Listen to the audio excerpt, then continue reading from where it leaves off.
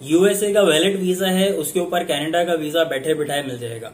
आपने इस बारे में काफ़ी चीज़ें सुनी होंगी, अभी पिछले दिनों भी काफ़ी ये न्यूज़ काफ़ी गर्म थी, लेकिन कहीं ना कहीं कंफ्यूजन थी, लोग कह रहे थे ऐसा कैसे पॉसिबल है तो बिल्कुल ये पॉसिबल है, ये प्रोग्राम बिल्कुल वैलिड है, इसका नाम है can plus can plus visa Canada का कैटेगराइज प्रोग्राम है, जिसके तहत अगर आपके पास यूएसए का वैलिड वीज़ा है, उस बेसिस के ऊपर आप कैनेडा का वीज़ा अप्लाई कर सकते हैं, बगैर किसी डॉक्यूमेंट बगैर किसी डॉक्यूमेंट से मुराद ये होती है, सबसे पहले उन्होंने आपको बैंक स्टेटमेंट से आरी कर दिया। मतलब आपको बैंक स्टेटमेंट लगाना ही नहीं है।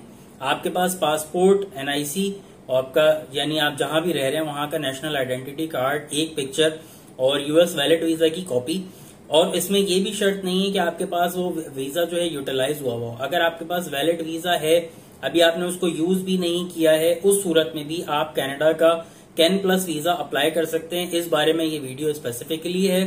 बाबर अनवर मेरा नाम है, कराची, पाकिस्तान में हम लोग लोकेटेड हैं। कैन प्लस वीज़ा अगर आप अप्लाई करना चाहते हैं तो आपको कोई और डॉक्यूमेंट की ज़रूरत ही नहीं है। सिंपल आपका पासपोर्ट आठ महीने से ज़्यादा वैलिड होना चाहिए। एनआईसी आपके पास होना चाहिए। एक रिसेंट पिक्चर आप लोगे यूएस का वैलिड वीज़ा होगा। अच्छा वहाँ पे ट्रेवल हिस्ट्री और बाकी चीज़ें जिस तरह नॉर्मल वीज़ा के अंदर वो पूछते हैं, उसी तरीके से सारे सवाल हैं। बस जहाँ पे आपको डॉक्यूमेंट सबमिट करने होते हैं, वहाँ पर आप एडिशनल डॉक्यूमेंट में उन्होंने ब्लैंक छोड़ा हुआ तो आपकी मर्ज़ी आप वहाँ पे एडिशनल डॉक्यूमेंट लगा सकते हो। अब उस एडिशनल डॉक्यूमेंट के अंदर भी आप अपना बैंक स्टेटमेंट प्रॉपर्टी डॉक्यूमेंट अपनी मर्ज़ी से चाहो तो लगा सकते हो, वरना आपको ज़रूरत नहीं है।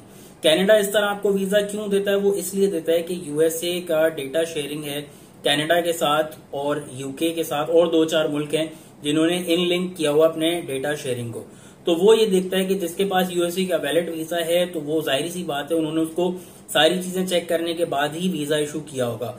और जब कोई ट्रैवल करके यूएसए जाता है इतनी दूर तो उस सूरत में कनाडा बिल्कुल नेबर कंट्री है न्यूयॉर्क वगैरह से बड़ा करीब पड़ता है तो अगर वो चाहे तो वहाँ पर भी जा सकता है। अब आप कनाडा एज ए टूरिस्ट जाना चाहें, फैमिली विजिटर जाना चाहें बिज़नेस पर्पज पे जाना चाहें, किसी भी सूरत में अगर आपको कनाडा जाना है तो आप यूएस वीज़ा के अगेंस्ट कनाडा वीज़ा को ले सकते हो। इसमें आपके चांसेस भी प्लस हैं। अगर आप वैसे ही अप्लाई करते हो तो ऑफकोर्स वो आपकी सारी चीज़ों को स्कूटनी करेंगे, हर चीज़ चेक करते हैं, सब कुछ करते हैं। लेकिन अगर आपके पास यूएस का वैलिड वीज़ा है विच मीन्स कि आपका परसेंटेज मजीद प्लस हो जाता है वीज़ा आपको मिलने के चांसेस ज़्यादा हो जाते हैं।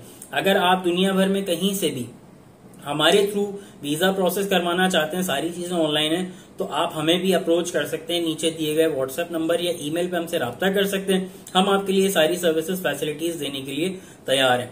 वीडियो हेल्पफुल है तो आप लाइक कर सकते हैं चैनल को आप ट्रैवल अपडेट्स के लिए सब्सक्राइब कर सकते हैं। थैंक यू सो मच अल्लाह हाफिज.